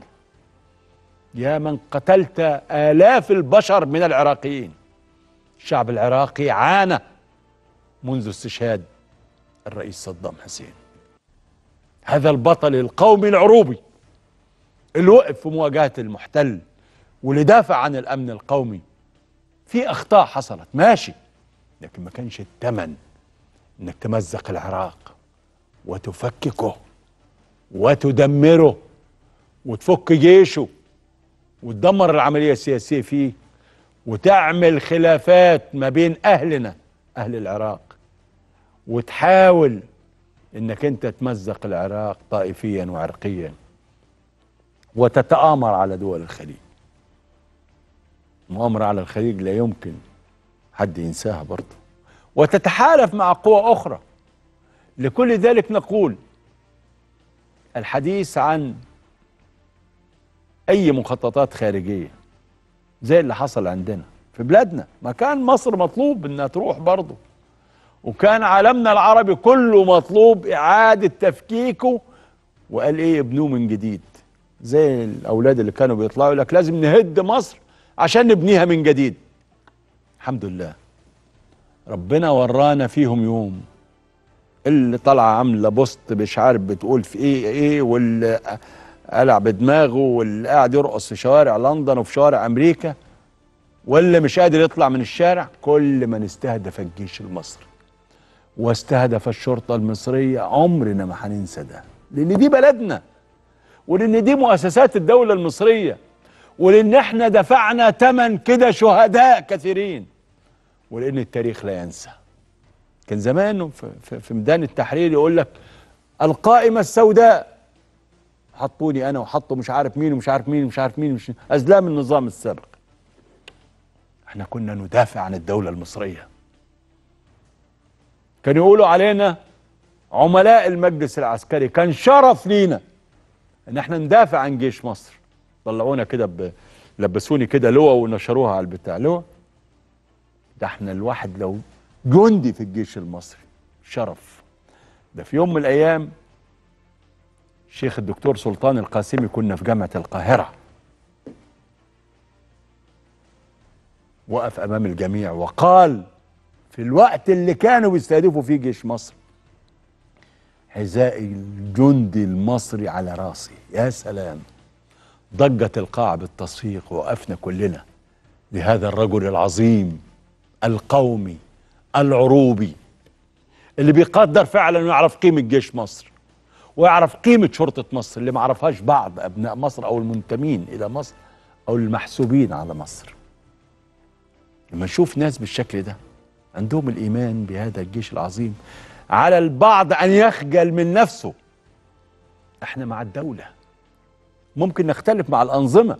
عادي. في نظام صح في نظام غلط في خطوة صح في خطوة غلط. إحنا مع الشعب لكننا مع الدولة. فرق كبير جدا بين إنك تبقى رجل دولة ومع الدولة وبين إن يبقى لك موقف سياسي. أنا لو قلت الوزير الفلاني ده كذا أو قلت والله النظام فيه كذا هبقى منافق؟ مش ده النفاق. ابدا. الدفاع عن الدولة دي ثوابت أساسية. تتحمل فيها زي ما انت تقدر. في ناس بتكش في ناس بلونين رايح جاي في ناس تبتز الدولة عشان يبصوا لي اعمل نفسي معارض واخبط كلمتين هنا وكلمتين هنا فيجوا بقى الجماعة ويقول لك يا مش عارف إيه لموا واحتووا. ماشي الاحتواء مطلوب بس علينا إن إحنا نعرف كويس قوي إن الدولة دراعها ما بتلويش. وإن جيش مصر أعظم من أن يناله بعض السفهاء. وإن شرطة مصر اللي بتقدم شهداء وبتدافع عن البلد وأجهزتها الأمنية كلها أمن وطني أمن جنائي غيره غيره غيره الناس دي بتدافع عن البلد بتضحي. بتنام وهي بتحرسك. بتحاول تطور. زي ما أنا قلت لكم الأسبوع اللي فات. أنا رحت المجمع. بتاع الإصلاح ال- والتأهيل اللي موجود في وادي النطرون. وقام اللي هو طارق مرزوق مساعد وزير الداخلية واتكلم فسر اللي موجود. وزورنا نزلنا تحت ومشينا. خدنا اللي هو ناصر محي الدين وقعدنا نلف مدير العلاقات مساعد وزير العلاقات والإعلام. وقعدنا نلف في كل حتة. والله اللي هيشوف المكان ده يقول لك ده منتجع. ده مش مش لمين 11 سجن وجايبينهم وهيعملوا حاجات تانية وبتاع؟ لا. واحد بيقول لناصر بيه بيقول له يا فندم ده أنتوا بتدلعوا المساجين. قال له دي حقوق الإنسان. اللي إحنا بنعمله ده حقوق الإنسان. حد سأل وزارة الداخلية عملت ده إزاي؟ وترجمت الاستراتيجية الوطنية لحقوق الإنسان إزاي؟ الرئيس اللي بيقولوا مهتم بالحجر وسايب البشر هم دول مش بشر؟ لما يدي تعليمات طوروا وانسوا كلمة سجون وما تقولوش على الموجود سجين قولوا عليه نزيل هو ده مش اهتمام بالبشر؟ هو مش اهتمام بالبشر إنه حتى المدمنين يتعمل لهم مراكز عزيمة في كثير من المحافظات ولسه هتفتتح حاجات؟ مش اهتمام بالبشر تسكنه وتطلعه من المنطقة العشوائية وتعمل له إنجازات ومشروعات. هو مش اهتمام بالبشر. اللي ما يخلكش تقف ساعتين وثلاثة في طريق أو إنه يقلل عدد الحوادث. مش اهتمام بالبشر إنه تبقى في وزارة النقل عاملة مشروعات والأيام القادمة هتفتتح مشروعات هايلة في محافظات متعددة في قنا والمنيا وغيره وغيره وغيره. هو اللي بيحصل في وزارة العدل والنهضة اللي بتتم في السجل المدني والبريد والشهر العقاري وغيره وغيره وغيره. هو اللي بتعمله القوات المسلحة ده كان شغلها مش شغلها. مش شغلها. صحيح يد تبني ويد تحمل السلاح لكن القضية الأساسية هي السلاح والأمن القومي. لكن القائد الأعلى إدى تكليف للقوات المسلحة إنها تنجز المشاريع دي من حياة كريمة من كذا من إنجازات من مصانع من من من في كل حتة. ومعاها شركات مجتمع مدني. ومعاها خمسة مليون واحد بيشتغلوا في المشروعات دول. مش هم دول شباب مصر برضه اللي بتشتغل واللي بتروح واللي بتيجي؟ كنا هنشتغل إزاي؟ وإحنا كنا في دولة يا جماعة. إحنا ما كناش في دولة. إحنا كنا في شبه دولة. البعض لازم يفوق ويرجع. ارجع للسنة السوداء اللي إحنا عشناها. لما بنتكلم كده بنتهاجم في مواقع التواصل. يه- ياكلوا هوا. مش مشكلة. مش كلها أنتوا نسيتوا أزمة الكهرباء؟ أنتوا نسيتوا طوابير البنزين؟ أنتوا نسيتوا طوابير رغيف العيش؟ أنتوا نسيتوا الأمن والاستقرار؟ أهم نعمة في البلد؟ عندنا أوضاع مجتمعية صعبة. آه عندنا غلاء أسعار وعندنا مشاكل بس عندنا أمل. وهنحل كل ده. وبنتمنى بالفعل زي ما بقول لكم بنطلب من الحكومة والسيد رئيس مزيد من إجراءات الحماية الاجتماعية عشان الغلابة. ما هو الغلابة دول أهلنا. وجوانا مش هنبطل كلام عليهم ابدا. العمال أهلنا الفلاحين أهلنا وعلى فكرة. أنا عارف قضية الأسمدة عاملة مشاكل كتيرة جدا. رحت لوزير الزراعة سيد القصير وزير الزراعة وعاملين حوار بكرة. هتشوفوا حاجات كتيرة جدا متعلقة بالأسمدة. حاجات كتير اتحلت ويمكن الوزير كشفها لينا في لقائنا بكرة الساعة 7 آه، مساء معاه. عشان كده يا جماعة خلونا نعرف كويس قوي إن في تحديات بتواجه البلد. وخلونا نعرف كويس قوي إن في قائد وطني خايف عليك وعليا وخايف على البلد. والقائد الوطني ده صدره واسع ومستعد يسمع وجهات نظر متعددة. ودي رسالة لكل من يعنيه الأمر. الرئيس عبد الفتاح السيسي عاوز صحافة حرة عايز إعلام حر عايز برلمان حر ويقاتل ويدافع ويكشف الفساد. الاجهزه الرقابية ما عندهاش خط أحمر لحد. الكل بيشتغل إنجازات بتحقق على الأرض مشاكل مزمنة بتتحل القادم أفضل. القادم أفضل. الراجل ما بينامش أربع خمس ساعات ده في اليوم بتلاقوا يوم الجمعة على المحاور.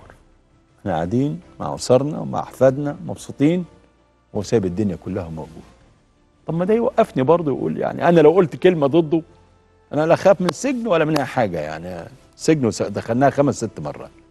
مش دي القضية. لكن الضمير. حرام إن واحد بيشتغل ليل نهار. حرام إن واحد واضع الوطن في دماغه. حرام واحد سايب الدنيا كله. بقت قضيته أن يقاتل في كل مكان وأن ينمي هذا الوطن وأن يخرجه من أزماته وأن يكون رقما فاعلا في الأمن القومي العربي. ليبيا سوريا العراق اليمن الخليج ما بيسيبش حتة السودان سد النهضة. كل دي قضايا مهمة جدا. النهارده لما يروح الرئيس مؤتمر باريس الخاص بليبيا بيروح لأنه يريد أن يؤكد على ثوابت إعلان القاهرة اللي اعلنها لا مرتزقة ولا قوة استعمارية تبقى موجوده انتخابات تتم في موعدها. وحدة الوطن الليبي حماية الثروة الليبيه ومش عايزين حاجة مش عايز حاجة من حاجة. لكن عايزين ليبيا تبقى سليمة. وتعدي هذه الأزمة إخواننا الليبيين اللي بيعانوا في كل مكان. والمؤامرة اللي تعرضت لها ليبيا واللي استشهد على أثرها الشهيد معمر القذافي الذي سيخلده التاريخ. هذا الرجل سيخلده التاريخ. رجل مثقف واعي عروبي قومي. ناضل حتى اللحظة الأخيرة وأنا سمعتكم الشريط اللي كان بيناشد بيه بنتيه وهو في سرت ويعرف أنه سيستشهد لكنه لم يلقي سلاحه ولم يهرب إلى خارج البلاد ولم يترك البلد. سيقاتل وقال للناس وحذرهم من خطر ما هو قادم اللي عشناه في الفوضى. واللي بنتمنى إن الجهود الإقليمية والدولية والمصرية على وجه التحديد تنهي الأزمة في ليبيا. يا جماعة التحديات الجاية مش سهلة. والأسعار والمشاكل اللي بيعملوها لنا من بره والأوضاع. إحنا عايزين بلدنا تقف. وبتعدي. على فكرة مصر بتعدي. أمام عالم يموج بالمشاكل والأزمات. لكن ما بتلاقيش مشاكل هنا ولا هنا إلا في سعي دؤوب عليها. يمكن أنت ليك تحفظ على قضية معينة. يمكن الناس بتقول عايزين بسرعة ننزل في موضوع البناء ده ونخلص كل حاجة وينزل المقاولين يشتغلوا ويلاقوا شغلهم. ناس في ناس كتير فلست خالص على الحديدة لأن دي مهنة مش قليلة. وبتمنى من الحكومة تنفذ تكليف السيد الرئيس اللي قال عليه يا جماعة خلصوا مصالحات والحاجات دي كلها. وأنا أعتقد إنها خلصت يا فندم وتقدم للسيد رئيس الوزراء رحمة يا فندم بال بمجال المقاولات. آلاف البشر مئات آلاف ده ملايين. كله واقف. عايزين نحرك الدنيا شوية. عايزين ناس تشتغل. عايزين ناس والحفاظ على الطبقة الوسطى. خلوا بالكم الطبقة الوسطى دي رمانه الميزان في البلد. الطبقة اللي بتفكر. أنا لما يبقى جيبي خاوي ونازل لا أعرف أودي ابني المدرسة ولا أعرف أودي مش عارف مين. أغلب الناس طلعت ولادها من المدارس. يلا ودي. دخلوا على المدارس الحكومية وأغلب الناس اللي كان بيعمل كذا اللي كان بي اللي كان بياخد يروح اسكندرية ولا يروح بتاع بطل. حاجات كتير جدا. فإحنا متحملين. الشعب متحمل. الشعب متحمل تبعات الامر لأنه عارف إن في قائد وطني حريص عليه وعارف إن في دولة تتقدم إلى الأمام. ما إحنا لازم نكاشف بعض. ما إحنا لازم نتكلم. مش هنقعد ساكتين. لا هنتكلم. هنتكلم ونقول دولتنا كذا وإصلاحنا بكذا والناس الغلابة كذا والطبقة المتوسطة كذا والإعلام كذا. كل ده هنتكلمه. طالما كلام مسؤول. في إطار حماية الدولة الوطنية في إطار حماية مصر والمرحلة الجاية وهفكركم. أفضل بكتير أفضل بكتير. والاستراتيجية الوطنية لحقوق الإنسان ده منهج التزمت بيه الدولة خمس سنين اتحققوا وبتتعمل دلوقتي استراتيجية للوعي. يمكن مجلس الشيوخ قعد فيها ولجنة الدفاع والامن القومي باشتراك مع اللجان المعنية كلها واتكلمت على القضية دي. وهتشوفوا برضو الأيام القادمة سيكون لهذه الرسالة التي بعث بها الرئيس عبد الفتاح السيسي للمجتمع قضية الوعي مواجهة إفشال الدولة الوطنية مواجهة حروب الجيل الرابع والخامس والسادس هتشوفوها على أرض الواقع. لأن مؤسسات الدولة يجب أن تعمل بكل ما تملك من أجل التخفيف من الأعباء اللي على المواطن. تسهيل حل مشكلات المواطن. ما تكفروش الناس. ما اروحش أنا قدام حتة معينة عايز اقضيها مش قادر.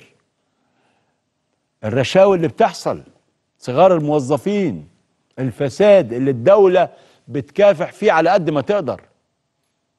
لكن للأسف بعض الناس فاقدي للأسف الانتماء لهذا الوطن لأن أنا رأيي اللي بيعمل حاجة زي كده ده مش ممكن يكون بيحب مصر. لكن مصر باقية باقية بجيشها وشرطتها وقضائها وشعبها العظيم. باقيه بكل قائد وطني يقدم لهذا البلد اللي بيستحق أرواحنا.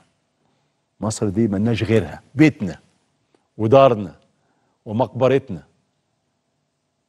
كان أستاذنا هيكل رحمة الله عليه بيقول لا أعرف لي وطنا ولا قبرا سوى مصر.